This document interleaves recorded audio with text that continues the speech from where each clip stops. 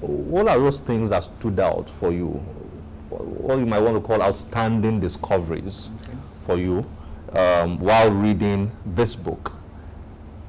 Okay, um, for me, one of the things that comes out clearly is the fact that Lagos, or Lagos as Lagosians like to call it, has always been a commercial center. I mean, I, I, saw statistics that talked about the distribution of workers in Lagos State at that point, um, and says uh, of all the population, that's of Lagos uh, in 1880, 30.5% were engaged in commerce as merchants, traders, agents, clerks, and shopsmen. 5,173 were tradesmen, mechanic, manufacturers, and artisans. So if we still have majority of people who are into trading and commerce in Lagos, that's what has always been. I found I, I, I felt that was recent. Now this book has shown me it has always been. I also saw in the book one of the things I've always argued but never had a basis for it because many people have said Lagos developed because it was a federal capital. Mm. This book showed that in Lagos there was development before Nigeria. Lagos was the jewel of the West Coast before Nigeria mm. happened. Before 1914, Lagos had everything that elder cities were looking how to. The other thing I also saw, which is also very important to me, I think is about uh, Ajasa. I hope Ajasa. I, Ajasa. Ajasa. How Ajasa became a factor. And that one of the statements made by the author was the fact that he quoted somebody who said one of the things that his story shows is that anybody can aspire to become something significant in Lagos if that person chooses to aspire to be so. And when I look at the recent history of Lagos and the making of governors and the making of presidents, I also see a similar thing where somebody is suddenly becoming an, the voice, the influence similar to what I just had. Been. just to mention the fact that many times we say something is new. Just like the good book said, there is nothing new under the sun. it had always been. For me, those were those things that jumped at me very powerful. The last one, which is still relevant for now, is when uh, Lagos was made part of the colony and was uh, aligned with Accra, Accra. Mm. and uh, there was a need for Lagos to be separate from Accra, and the people decided they were going to write appeals to the colonial masters about that, how it wasn't the indigenes that wrote the letters. Mm. How the indigenes were not part of that process. I get to also ask what is very similar to what happens now, the, the contribution of the Lagosian in political economy of Lagos, even today.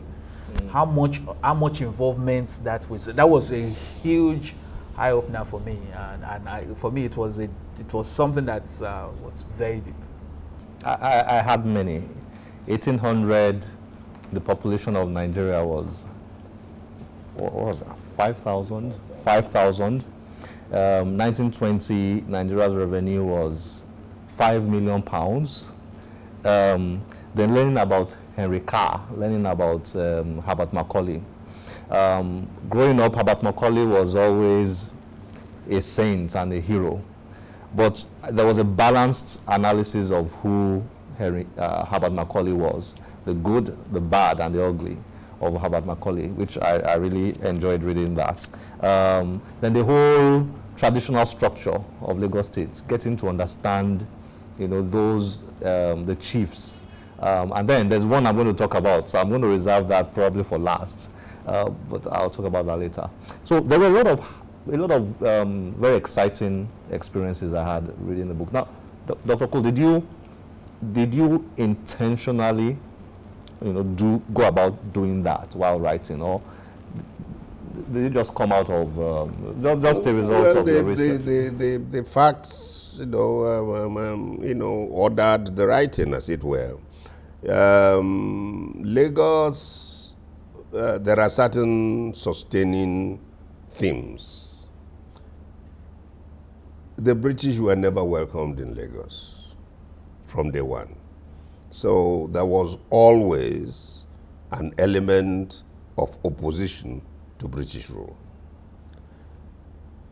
The various other groups that came into Lagos, whether they are Brazilians or whether they are Saros, or whether they came from different other parts, uh, found ways of allying with some pro-British people, obviously like the Egerton Shyngles and that kind of people, as against the very strong tradition amongst the white cap chiefs who insisted that the land of Lagos belonged to them and that the Oba of, whatever the Oba of Lagos signed with the British, that was his business. No, he couldn't sign their land away.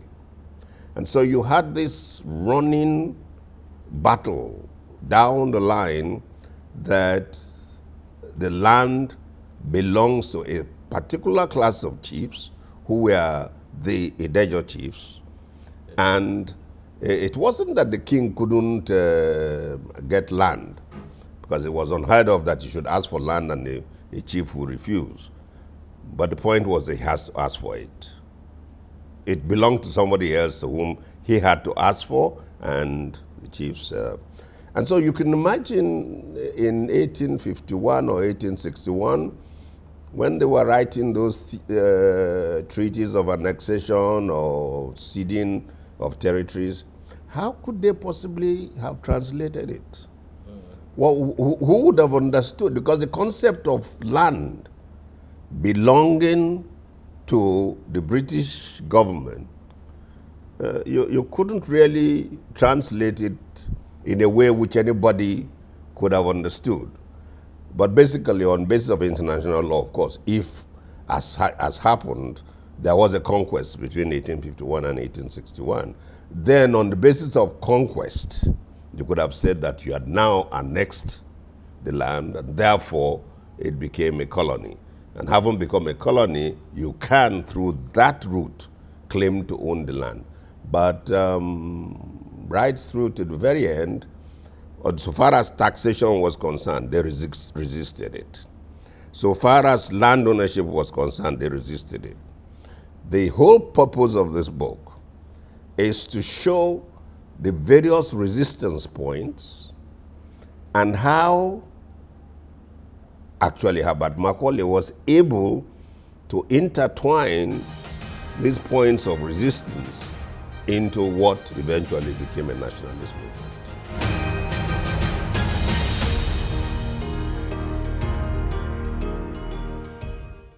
I hope you have been enjoying that book review with Dr. Patrick Dele-Cole. Watch out for its concluding part next week. Before we go, let me introduce the second of the two books I mentioned earlier. It's titled Sandbank City, Lagos at 150. It's a fascinating account of the evolution of Lagos from a small fishing village in the 17th century to the megacity that it is today. The basis for much of the book's narratives are the buildings, the urban infrastructure, and the geological formations that have affected the city recently. It is a recommended book for anyone interested in the architecture and history of Lagos. The book is authored by two veteran and highly accomplished architects, John Godwin and Gillian Hopwood, who first came to Nigeria in 1954. Their first publication was Sailing in Lagos, an account from 1932 to 1982. Sandbank City is a book they started writing in 1984 and eventually published in 2012. Displayed on your screen are our social media platforms for this show. I would like you to join us on any of them.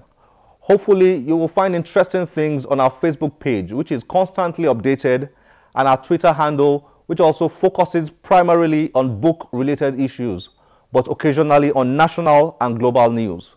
You can also watch many of our past episodes on YouTube. To do that, visit youtube.com slash channelsweb. Once you are there, search for Channels Book Club and you will have many options to pick from. Finally, you can always send us emails from our email address, the at channelstv.com. We'll be looking forward to getting your comments, likes, tweets, and emails. I hope you have enjoyed yourself today. Please join us again next week for another episode of the Channels Book Club. My name is Olakunle Kasumo. Remember, one great book can change your life. Bye bye.